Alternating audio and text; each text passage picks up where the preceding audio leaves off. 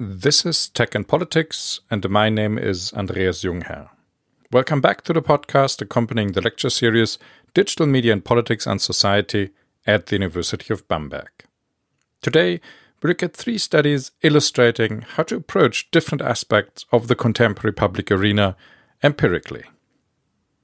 As we have seen, the public arena is a crucial element of democratic societies, linking communication to political competition and democratic representation. It comes as no surprise, then, to see it a concept that has inspired massive research activity. The digital transformation of the public arena has featured very prominently in recent research. Interests, approaches, and methods in studies on the contemporary digitally extended public arena mirror the richness of the concept and its related areas. Possible topics include the detailed examination of structures hosting the public arena, their constitution, contextual embeddedness, and shaping power for discourse and political competition. Shifting and competition norms and practices among actors within the public arena. Changing patterns of political competition within the digitally extended public arena and the emergence of challenges to the status quo.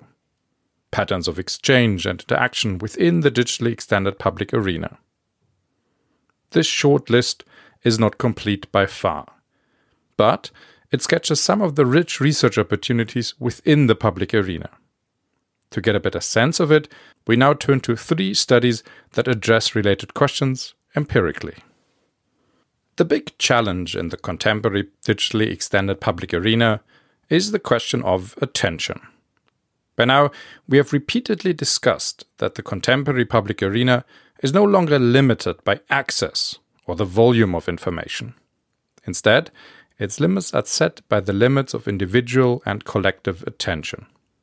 Winning in the intense competition for attention is of crucial importance for actors within the public arena. While academics need to understand the underlying dynamics and associated limits. A recent study by Adrian Rauchfleisch and colleagues illustrates how one can do so. In the article How COVID 19 Displays Climate Change, Adrian Rauchfleisch, Dario Siegen, and Daniel Vogler examine whether attention to one issue of grave societal importance, climate change, was replaced by attention to another issue of great urgency, COVID 19, or whether attention to both issues and the associated challenges persist. They examined this by analyzing the presence of both topics in media coverage and on Twitter in Switzerland between April 2019 and October 2020. The authors collected news coverage on news websites, newspapers, and transcripts from TV and radio newscasts, which left them with 1,060,820 articles during the relevant time frame. Of those, 56,128 stories referred to climate change, and 174,407 to COVID 19. 6,431 stories referenced both debates. For the analysis of Twitter, they relied on a tracker covering the whole Swiss Twitter sphere during the time frame. This includes 296, 553 users, 9.7 million tweets. Through a set of topical keywords, the authors identified tweets referring to either topic, leaving them with 407,626 tweets referring to climate change and 3,214,483 mentioning COVID 19. The authors built two time series of news and Twitter attention to both topics.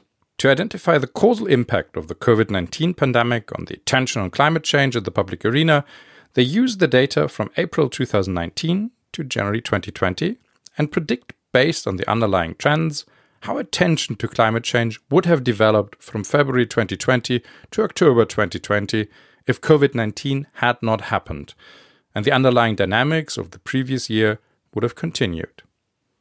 By identifying the difference between both their prediction and the actual coverage dynamics, they can identify the impact COVID 19 had on attention toward climate change in the news and on Twitter. As expected, the authors found that after February 2020, attention in both news and on Twitter toward COVID 19 increased, while attention toward climate change clearly decreased. Still, some events related to climate change created attention peaks in both the media and Twitter, and overall Twitter attention toward climate change was strongly correlated with news attention. These findings echo earlier research indicating a strong and persistent link between news coverage and Twitter attention to current events or politics. Comparing actual attention toward climate change with predicted attention, the authors show that attention toward COVID 19 clearly had negative effects for attention toward climate change. For both news coverage and Twitter reactions, the authors find substantial negative effects, lowering news attention to climate change by 46% and attention on Twitter by 55%. This is clear evidence for the limits of attention in the public arena overall, where the prominence of a new topic, COVID 19, comes at losses for another, climate change, irrespective of its continued relevance in society. This is clearly troubling news from the perspective of climate activists or politicians intent on keeping continuous attention on the topic in order for society to keep focus and maintain efforts in fighting climate change. In further analytical step, the authors show, through the analysis of co-occurring hashtags, that climate change activists reacted to the decrease in collective attention by trying to link the issue of climate change with the issue of COVID 19. Here they find that only 0.5% of tweets contributing to the COVID 19 debate reference climate change, while 11% of tweets within the climate debate refer to COVID 19. This and by looking closely at the connecting hashtags, leads the authors to conclude that climate change activists try to tactically adjust to the new circumstances and to connect their issue of relevance, climate change, with the issue of the day, COVID 19. In its use of both time series analysis and the analysis of hashtag co-occurrences, the study by Rauchfleisch and colleague provides a helpful template for further research. Their study shows how one can approach issue attention and attention drifts in empirical research, as well as examining tactics by actors within the public arena to mitigate or profit from shifts in collective attention. Another strand of research looks at the behavior of people contributing to online discussions about politics and current events. Often, these studies focus on the hostility of contributions in online environments and explicitly or implicitly connected with specific conditions of online discourse. For example, digital environments would allow people anonymity, low accountability for their actions, and physical distance to others. In combination, these factors would activate people's negative impulses and turn them into trolls, ready to engage others in a hostile fashion or even to arrest them. In short, the internet might turn people into trolls. This set of expectations has been called the mismatch hypothesis. If true, this of course would provide bad conditions for the digitally expanded public arena. Luckily for us, Bor and colleagues put this thesis to the test. In the article The Psychology of Online Political Hostility, Alexander Bor and Michael Bang Petersen present a series of comparative studies in which they test the effects on people's behavior and discourse of conditions found in digital communication environments.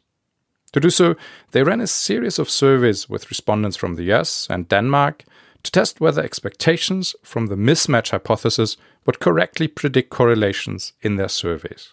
In the words of the authors, the mismatch thesis states that, and I quote, this class of effects imply that the perfect storm of novel online features, e.g., anonymity and rapid text based communication, induces fleeting psychological changes that increase the likelihood of certain psychological states that undermine civil discussions. Simply put, when people log online, their level of empathy is reduced or they become more aggressive than usual. The authors contrast this hypothesis with expectations from the connection hypothesis.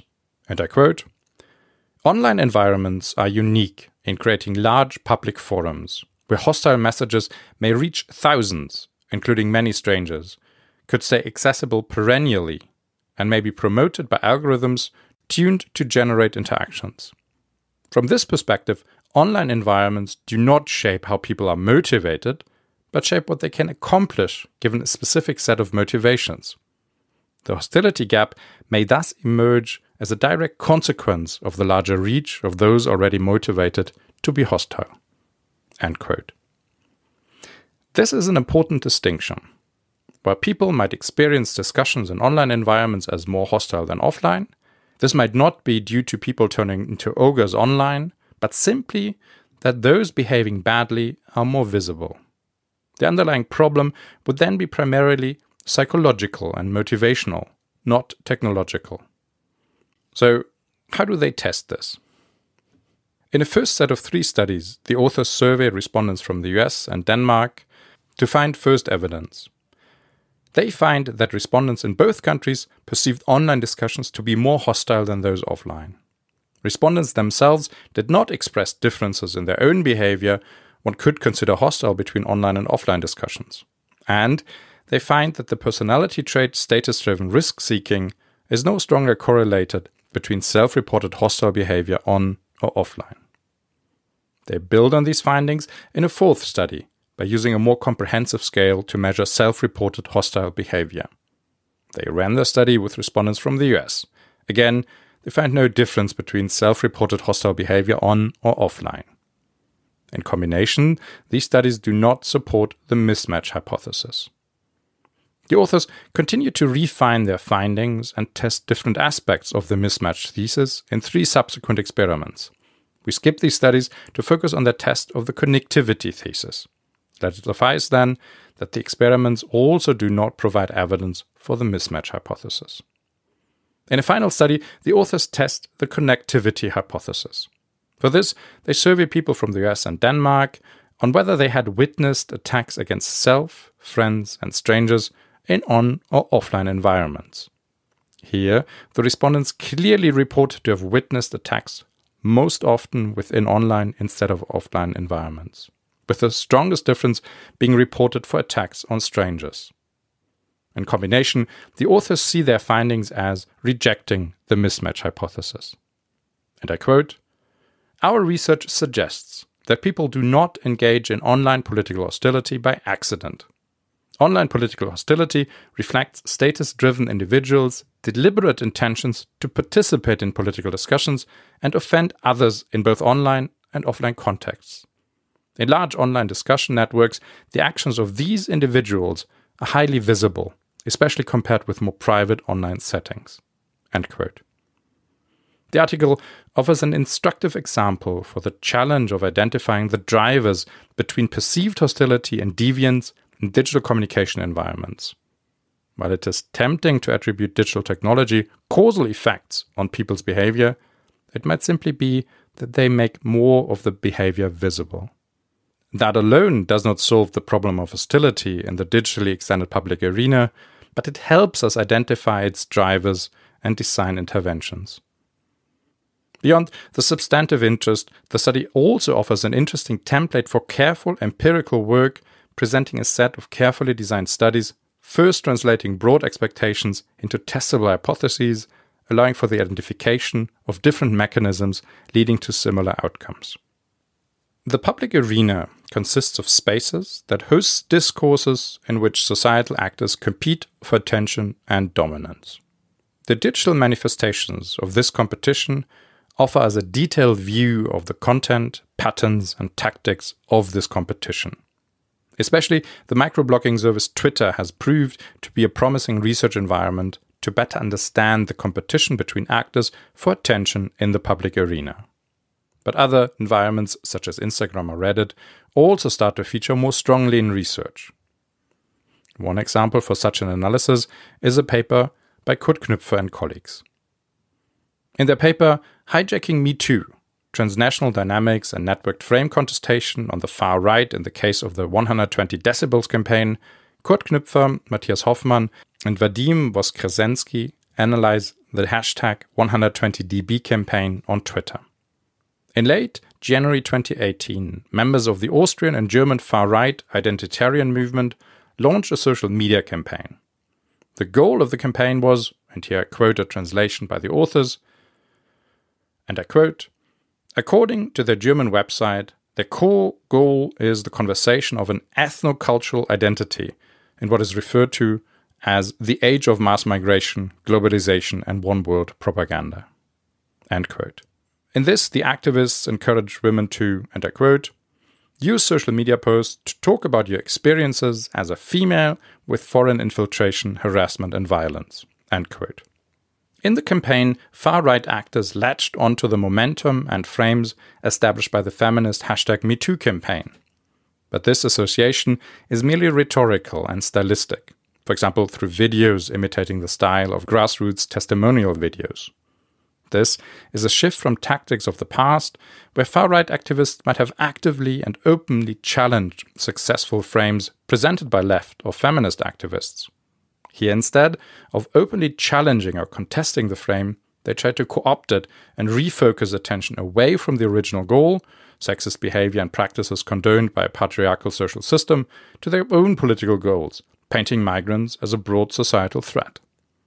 And I quote The campaign did so by drawing explicit attention to acts of violence against women perpetrated by foreign men or recent immigrants. This form of strategic frame contestation is not characterized by an outright dismissal of the original framing effort, but rather by narrowing of the original problem definition and the propagation of a different set of policy demands. End quote. This tactic is what the authors term hijacking. To analyze this tactic, they collected tweets containing the campaign hashtag, hashtag 120db, through the Twitter streaming API between January 30 and May 31st, 2018, the run of the campaign. During that time, they collected 172,972 tweets from 44,834 unique user profiles. Of the tweets mentioning hashtag 120db, roughly 10% were also mentioning hashtag MeToo. The authors see this and specific temporal and language patterns as evidence that the originators of the campaign very actively tried to use the attention on hashtag MeToo to launch their own campaign and inject their contesting frame within the larger hashtag MeToo debate. Not the least, by injecting their specific regional claims within a larger international debate. The authors continue their analysis through qualitative look at the content of messages using both hashtags.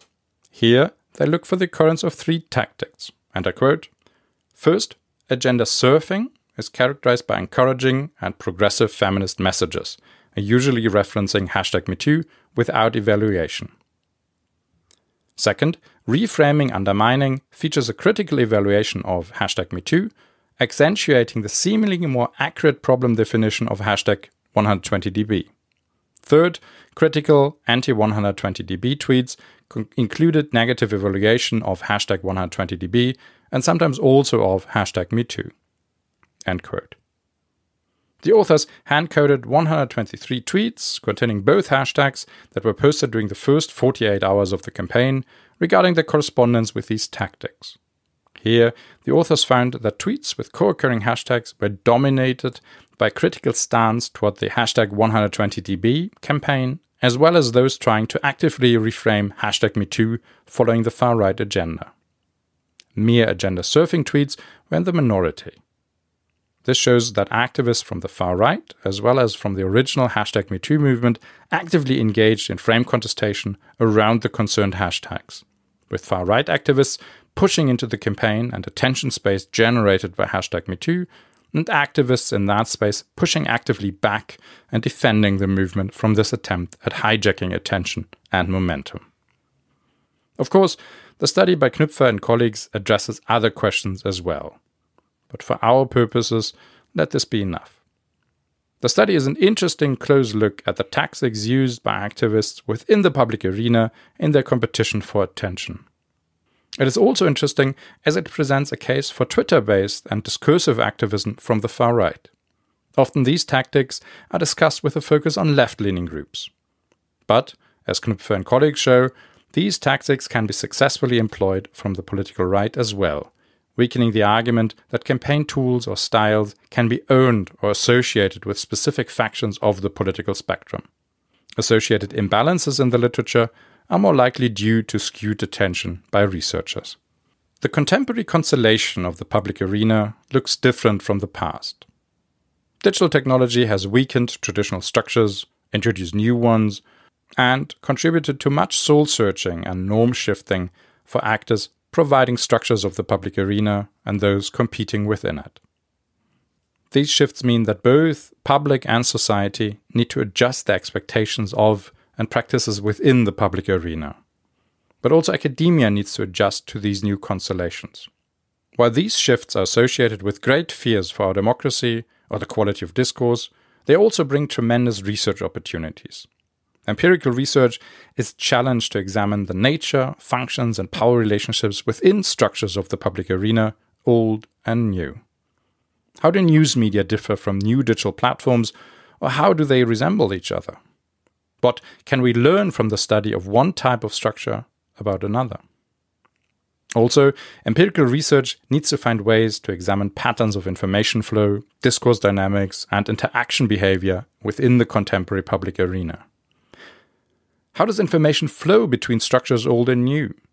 Do new features of structures influence the way discursive competition happens between actors in the public arena, or can we observe shifts in power? Or how do people behave when engaging in political exchanges in structures old and new? Finally, empirical research also needs to focus on outcomes. What are the effects of the new constellation of structures within the public arena? Do digital media contribute to polarization within society?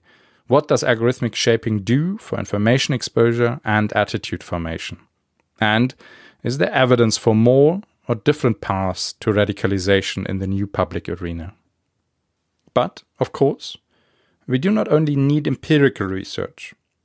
Maybe the primary task right now lies with the development of theoretical or normative concepts of what to expect from the contemporary public arena.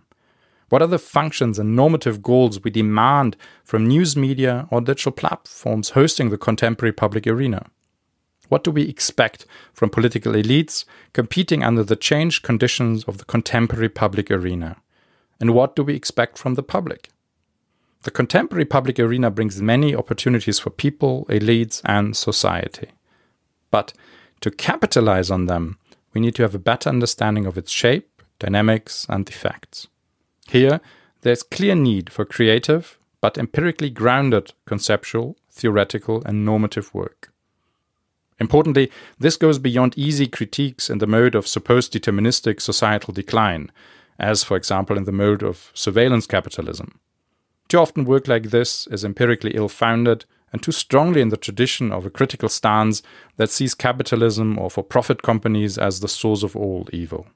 These works tell us little about actual changes within the public arena, its effects on individuals and society, and ultimately do not offer much of a way forward. Besides, of course, abolishing capitalism. Instead, we need to become better at understanding what is actually happening. In other words, establishing meaningful transparency for structures of the public arena, old and new, and surfacing and negotiating tensions that exist within and between structures of the public arena, old and new, and actors competing within it. The new structures of the public arena are here to stay. As we have seen, they mitigate some of the ills of previous constellations within the public arena, but introduce some new ills and inspire new worries. It is up to society to figure out the norms and practices allowing us to pursue the public good under these new conditions. Turning back the clock is not an option.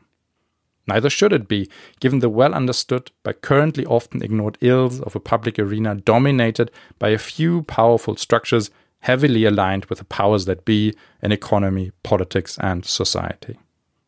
The current structural transformations of the public arena are noisy, contested, and surface very real political and societal tensions and fractions.